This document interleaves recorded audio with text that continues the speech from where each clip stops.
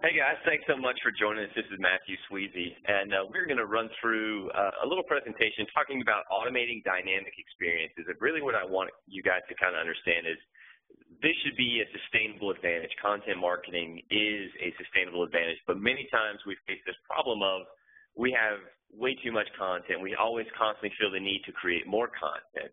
Let's talk about a different way to solve that problem as rather than creating more content, a better way of accurately serving the content that we currently create, and that would be uh, uh, essentially dynamic content. Just a little quick blurb about myself.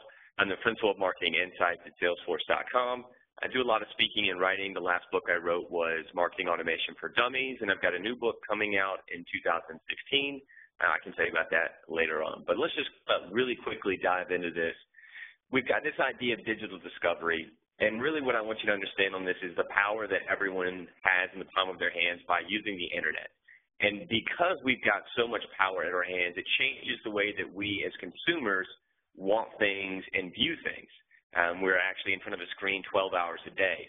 And think about this, we are no longer just in front of a screen, we're engaging with things constantly, and all these experiences are happening and we're remembering them. And no longer are we as a company just judged against our competitors, but we're judged against a whole host of things. Um, you know, the, the way we look at ad impressions, it used to be about 5,000 ad impressions uh, per day, is what people would say is in the modern digital world, it's about the, the level of ad noise. But when you really boil it down, the advertising noise is not the noise that we are having to compete against. If you think about this, every time that you log on to Facebook, you have somewhere between 1,500 and 15,000 posts waiting on you in your Facebook queue. And so you say, as a business, how can I then break through that noise, um, which is, is now ubiquitous? And the reason it's ubiquitous is because it's the first time in history that anybody has the ability to create, distribute, and consume content. And so that everyone is now creating content – a lot of the noise that we have to overcome doesn't even come from other businesses. It's just, uh, you know, things from other people. And so, you know, you've got a bunch of different experiences. And, and this is something similar to what you guys probably see in your Facebook feed as well. This popped up in my Facebook feed a couple days ago. And it's a, you know, a nice little short, cute video of a little pug licking an ice cream cone. And then the owner switches the ice cream cone to the big dog, and as opposed to licking it, he just eats the entire cone in one bite. You know, it's super cute, and that's why it's got about 10 million views.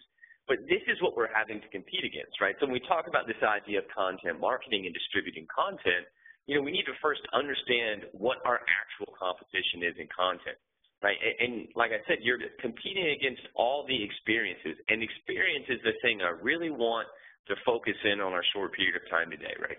It's the experience, and it is that is at the heart of things, right? So think about this in a super basic term right? If you imagine a person and you split them in half, not physically, that would be a bad thing, but you split them in half and you say, all right, there are the things that I can see and the things that I can't see.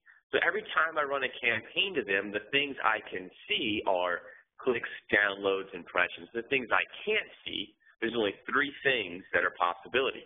I can cannot see how that experience was, and that experience is going to be one of three things: either a positive experience, null, has no effect, or a negative experience. And that's at the heart of what content really should be looking at. And why is this important? It's because when you have that positive experience, the halo effect kicks in. And the halo effect is the is the, the basis for the colloquialism of why first impressions are so critical. It's because the halo is actually a psychological term that will precondition you to then have all of your future uh, engagements uh, clouded by that initial engagement. So if you have a positive first impression, your mind will then focus all future impressions in a positive light. Uh, conversely, negative first impressions and so on. And this is important because of the experience, right? And this also gets really important when you start talking about, you know, different types of online engagement, specifically talking about uh, the online digital e-commerce world. Uh, so here's some fascinating things about this e-commerce. First off, 40% of the population shops one time per month in the year 2013 to 2014, right? Uh, excuse me, that was 40% shops at least once a month. 28% shop once a week. I personally shop a whole lot more than that because I have Amazon Prime, uh, and they've got my number, and it is awesome, right? Now, this number is expected to increase by 15.5% going forward into 2015, right? So what we need to think about this are a couple of the keys to automating this experience and how we can really um, you know, put the correct content in front of the correct people for the right kind of conversion at the right time. The first thing we need to understand about this is it's going to take a lot of, there's a lot of moving parts and pieces behind the scenes. And the first thing that we have to understand is we have to have full visibility and full knowledge. Information is, is the critical piece here. And information is not just the information that you may know, it also may be information that other people know about people, uh, which would be third party, and then your information would be first party.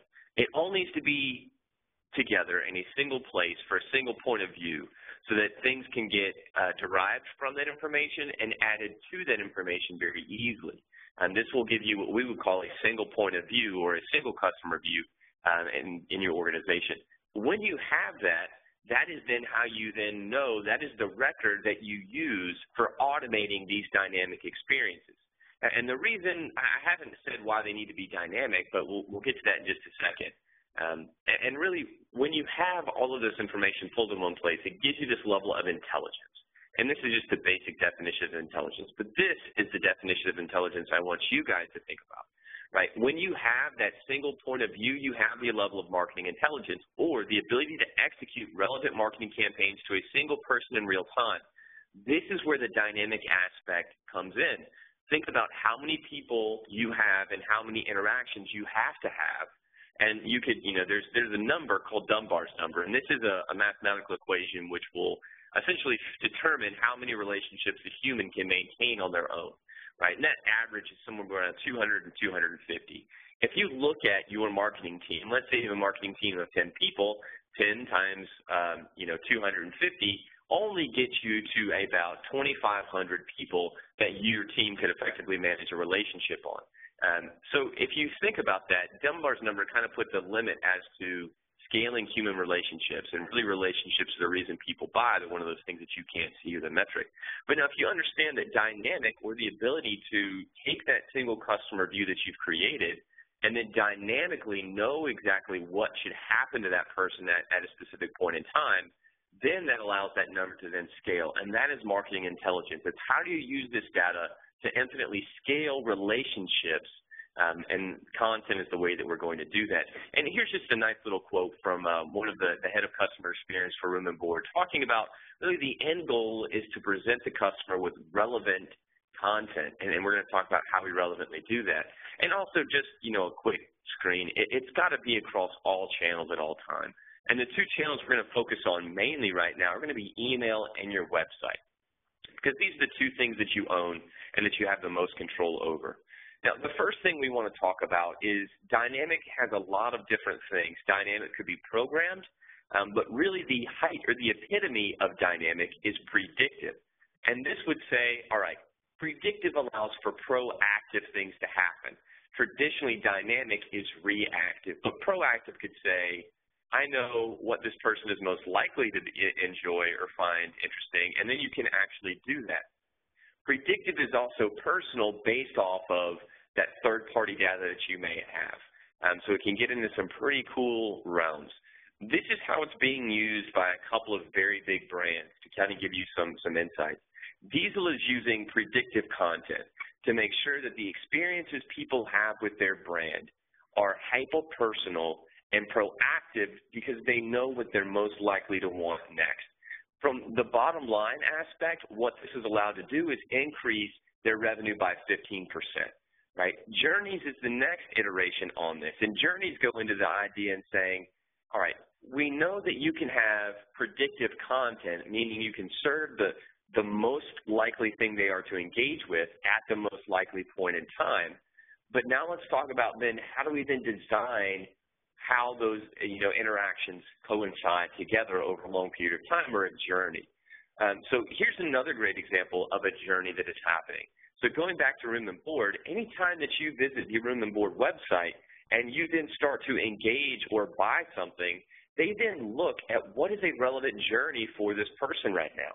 So if you start to buy something for a bedroom, right, they can obtain a lot of information about you, not only third parties such as who is this person, what are their interest profiles, but then first party, what are you doing on their site? What types of products are you looking at that can designate, designate the style preferences that you have?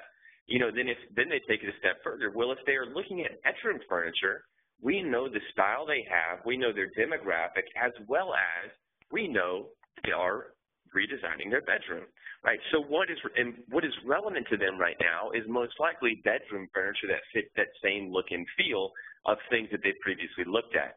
So now they can design a journey around that person, helping them reach that purpose that they have. Remember, the, the goal here is not just to get the content in their hands and just to push product. The goal is to help them fulfill their purpose and reach their goal. And their purpose is probably to feel good about their decisions and to feel good about the room that they eventually live in. Uh, and so that's kind of the purpose. And they're helping meet that purpose through the idea of journey. Here are just some quick numbers. When you start looking at journeys and you start looking at predictive, here are the things that you can start to see, right? First off, revenue lift by a significant margin of 10%. Click-through rate in emails by 35%.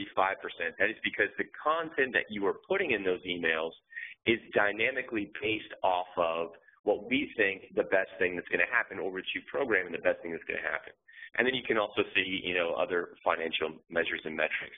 And kind of when you really look at this and boil it all down, what you get into is the idea that you create a lot of content, but it is serving that content in effective ways that makes things different. And, I'll kind of expand on that real quick because I didn't hit on this topic and wanted to uh, a second or two ago. It is when we go back, and let me go back to that page. When we go back to this website, um, so I want you to think about a, a concept right here. So let's talk about the actual content that is being displayed on this website because that's something I, I forgot to talk about. When someone lands on the website, Right. The average person, and I want you to do basic math in your head. First off, how many web pages do you have on your website? Write that down. How many pages on average does a person go to? And then how many, eh, what percentage of the, the, those pages have content on them? And so what you're likely to end up with is you probably have hundreds or thousands of pages. I'd say probably 85 to 90% of those pages have content, but on average, a person may go to two to four pages the average is 1.7 on a B2B website, and a B2C website is going to range in terms of what type of a property it is.